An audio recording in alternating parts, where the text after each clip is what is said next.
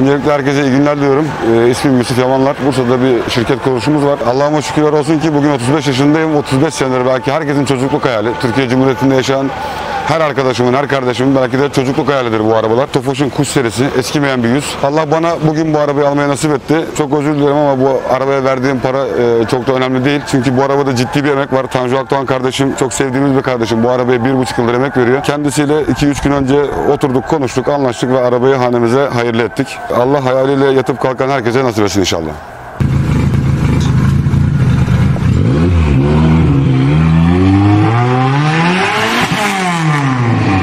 Merhabalar, ismim Tanju Akdoğan. Ordu Gölköy doğumluyum. Bursa'da ikametgah ediyorum. 92 senesinden bu yana Bursa'da ikametgah etmekteyim. Tır şoförüyüm. Aynı zamanda e, tofaşlarla ilgileniyorum. Şu anda Türkiye'nin en pahalı Tofaş'ıyla yan yanayız. Sizlere bundan biraz bahsetmek istiyorum. Aracım 93 model Doğan Selex. Kaport olarak orijinal.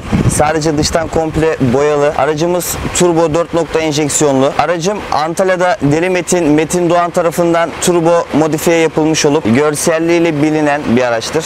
Ben bu aracı aldığımda Deli Metin'den yani Metin abiden aldığımda turboluydu. Fakat bana göre eksikliği vardı. Şu şekil hız olarak ben her seferinde daha fazla hız istedim. Bunun için aldığım süreçten sonra turbosunu büyüttüm, eksentriğini büyüttük, şanzımanını değiştirdik ve güzel hızları yakaladık, güzel setuplar aldık. Bu aracımız şu anda 2.3 barda 560 beygirlere ulaşabiliyor. 0-400'de 11.4 saniyelerde, 100-200'ü 6.5 saniyelerde güzel süreler aldık. Aracımızın içi görsel olarak Mercedes koltuklu, elektrikli ve ısıtmalı koltuklarımız 2018 AMG'ye ait.